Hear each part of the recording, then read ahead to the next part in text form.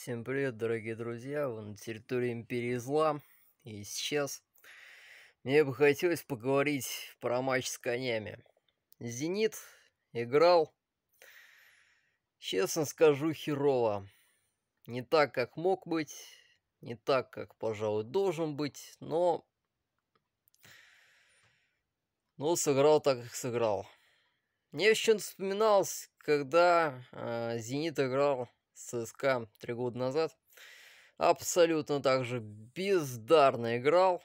Вот, но тогда у ЦСКА был, был Влашич, тогда у ЦСКА был живой еще Федор Чалов, тогда у ЦСКА был э, Арнер Сигурсон, тоже живой. И, в принципе, тогда уровень игроков ЦСКА был повыше, чем э, у ЦСКА нынешнего, и поэтому Тогдашние куни реализовали свои моменты, запрессинговали так «Зенит», что э, заставили того дважды ошибиться на своей половине поля. Особенно э, чудил Клаудио Маркидио, э, пенсионер, который приехал в «Зенит» доигрывать. Вот. Э, у меня, честно, были опасения, что эта игра закончится так же, но э, «Зениту» конкретно так подфартило. Во-первых, единственный выход, пожалуй, реальный такой нормальный выход из обороны в атаку завершился голом. Неожиданный рикошет от Игоря Дивеева, который, кстати, перед матчем говорил, что надо серию прерывать. Но так э, получилось, что именно вот этот Дивеева мяч скачивал в ворота Кенфеева. Вот, удар сам по себе у Клаудиньо был не опасный. Вот, ну и, соответственно, повезло Зениту также, что Э, у ЦСКА было три убойни... убойнейших момента. Э, первый у Заболотного еще при счете 0-0. И тогда Киржаков вытащил. Второй у Мухина. Э, уже при счете 0-1 во втором тайме он не попал в ворота. Третий у Чидеры Джуки. И он тоже не попал в ворота. На самом деле было очень тревожно. Оборона была просто дырявая. И на самом деле это Э, больше даже не заслуга обороны «Зенита», сколько м, претензий и большущий, огромнейший камень в огород напада... нападения ЦСКА, что они единственные, пожалуй, за э, весь чемпионат не смогли забить «Зениту» ни в одном из кругов. Кроме ЦСКА в первом круге не забил «Зениту» только «Урал», и тот, я думаю, во втором круге забьет. Вот, получается, ЦСКА это единственный сильный клуб, который не смог забить этому плюшевому в обороне Зениту. Хотя имел и в первом матче шансы 3 так точно, и во втором матче шансы 3 забить. Но ни одним из этих шансов нападение ЦСКА не воспользовалось. И это конкретный такой булыжник просто в огород нападения ЦСКА. В особенности в огород Антона Заболотного.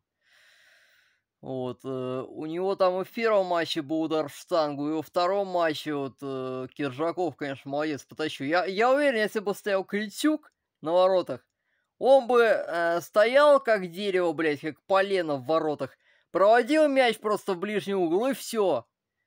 И стоял бы дальше, так обосравшись штаны в воротах. Но Михаил Киржаков все-таки лучше, чем э, Критюк. Хоть Киржаков и старше, вот, а вообще я считаю, что надо ворота Зенита возвращать Лунева.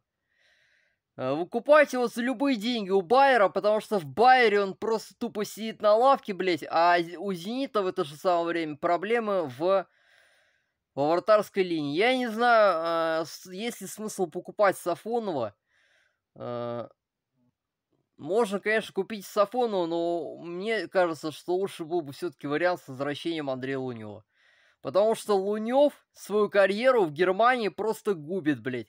Э, я, когда он еще только переходил, э, думал, что, ну, переходит в Байер. Байер хорошая команда с игровой практикой. Сейчас, конец ноября, Лунев не сыграл за Байер ни единой встречи, ни единой минуты даже. И у меня такое ощущение, что зря он туда поехал, и надо, надо возвращать Лунева в «Зенит». Э, предпринять все усилия, ну, вот этот вот э, бардак в вратарской линии, э, в, зим, в зимнее трансферное окно, э, просто жизнь необходимо э, устранить. Точно так же, как необходимо устранить бардак в линии защиты, Ловрена сплавить нахуй. Э, Ловрен и в матче с ЦСКА умудрился несколько э, позиционных ошибок допустить, э, в результате которых напад нападающие ЦСКА э, оказывались на убойной просто позиции.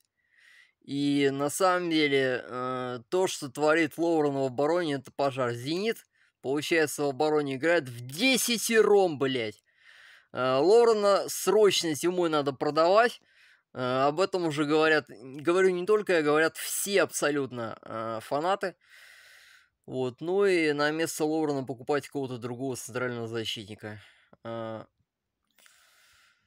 Опять же, возвращаясь к качеству игры. Куча камней, там огород Симака летел после игры с Мальме, что игра с Мальме была хуевой. Но я вам, знаете, что скажу? По сравнению с игрой в Москве против ЦСКА игра против Мальмы была охуенной. Э, в, в игре с Мальмой Зенит создавал, э, Зенит реально атаковал, и Зенит должен был побеждать. Тогда в игре с ЦСКА Зенит на поле практически не было. Э, одна атака в первом тайме и сразу гол, стечение обстоятельств.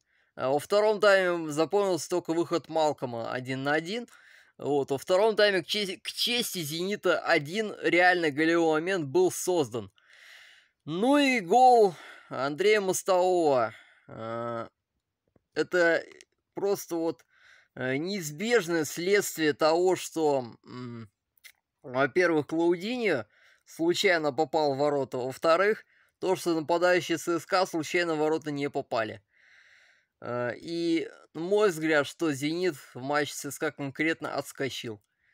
И это, э, я считаю, на самом деле, что это очень хорошо, потому что это одно из чемпионских качеств, что чемпион выигрывает даже те матчи, которые выиграть не должен.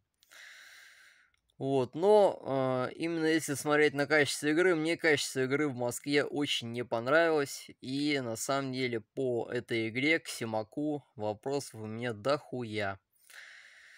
Вот. Но это все, все-таки это хуже, чем было в игре с Мальме. Мальме это была еще очень хорошая игра. ЦСКА просто днище, блядь. У меня все.